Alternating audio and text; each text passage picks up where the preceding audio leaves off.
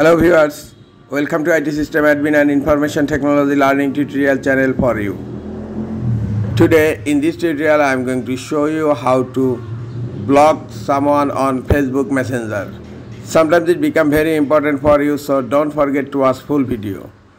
To block someone on Facebook Messenger, go to your Messenger app.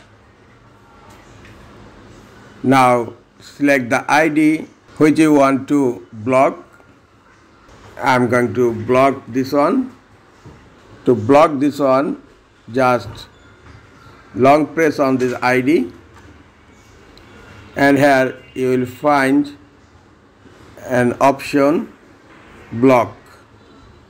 You can block this ID from here or if you want you can block in another way just open the ID and click on the profile icon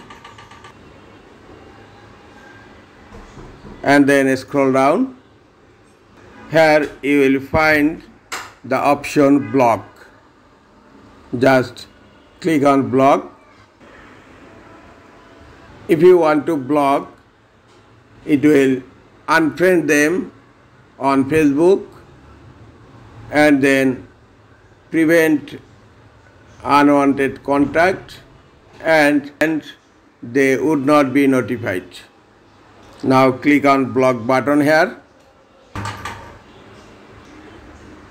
You blocked this ID and blocking has been successfully done.